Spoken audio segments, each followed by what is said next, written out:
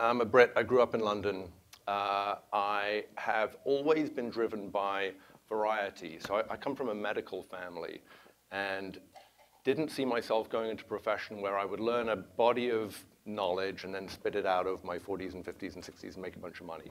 I just wanted to do something that was much more variety driven. So that's been a kind of thread throughout my decision making on, on my career.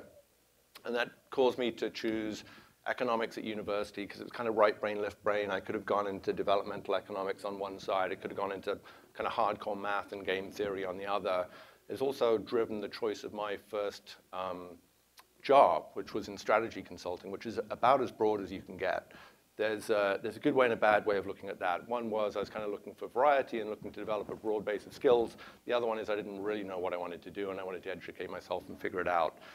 So I did that for a little bit. Uh, I enjoyed that tremendously, actually. Very hard work, but a lot of fun. And then uh, I, I kind of skipped on a bit. I, I, was an entrepreneur at university, so I found that I had a little bit of spare time, and I started a music business. It was a, I was deeply into music, very passionate about music, and I started a nightclub business that became the biggest nightclub in Edinburgh, and we had a lot of fun, and it um, booked a lot of world-famous DJs, and uh, it funded my record buying habit, which was really pretty serious by that, by that point in time. And so I had that background, went into strategy consulting for four years, went to business school, came out, and came out into the teeth of the first dot-com boom, so 1999. And uh, super excited. And I, I, knew I had to do something in that space, and happened to meet up with a couple of founders who were starting a music business that drew upon a lot of both my business skills and my passion. So I joined them, and I was a COO of that business and drove that business for two years, got it profitable, built up the team. I was basically in charge of the business, and the other two co-founders, one was in charge of finance, and the other one was in charge of wrangling the DJs, which is a whole skill in and of itself, as you can imagine. Um, so did that business, uh, got it profitable, had a massive learning experience, experiences, almost all of you can relate to, I guess, and uh, then was headhunted by Time Warner out of New York to come and join Time Warner Strategy Group uh, here in New York by a former colleague. Uh, I could see that uh, my business was called TrustTheDJ. It was uh, going to be successful, but not a huge hit. I was ready to do the next thing. I was excited about New York. We were just about to have our first kid. So came over with the idea of, actually Time Warner's pitch to me was, come and join our strategy group for two years, and then we'll put you back in London. You can run Time Warner strategy for Europe out of London. And uh, of course, you know, partly because it was the AOL Time Warner merger and partly because these things never work out like they're intended to, I'm here 13 and a half years later, very happily, because uh, I love New York. My family loves New York. Um, and my career moved from kind of strategy and technology roles into investing on behalf of Time Warner for five years, and now investing on behalf of Comcast Ventures for three and a half. So I'll tell you a little bit about Comcast Ventures.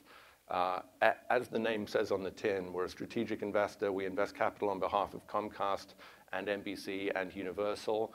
And we really, so we're a strategic investor and we aspire to be the best source of capital for entrepreneurs on the face of the planet.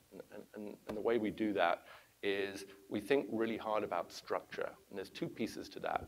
The first piece is we try not to bring any of the baggage that can sometimes come with strategic investing groups for entrepreneurs. So no right to first look, no right to first refusal, not trying to advantage Comcast in any way, not trying to get a look into your IP of the business. Uh, completely clean.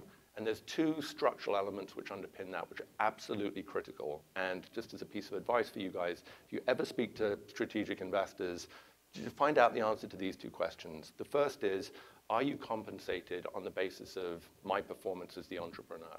So do you guys do better if your portfolio companies do better? That's an important answer. We do. We're paid like a VC. We're paid on the basis of carried interest. The second question is, how do you approve deals? And in Comcast Ventures, we approve deals by partner vote.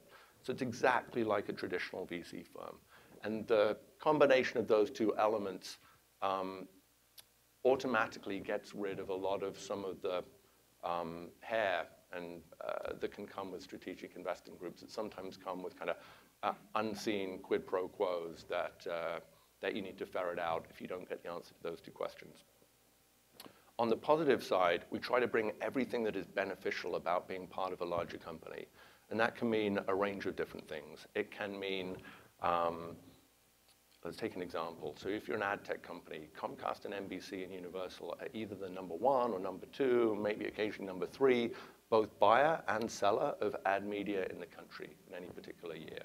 Or if you want to do something in core routing, there's aren't many more powerful companies that you could partner with than Comcast. Or if you want to do something in video processing, or if you want to do something in commerce, if you want to do something that relates to TV advertising, there's an incredible set of assets that we can bring to bear on behalf of you guys as entrepreneurs to help advantage your company, either help accelerate it or help to de-risk it.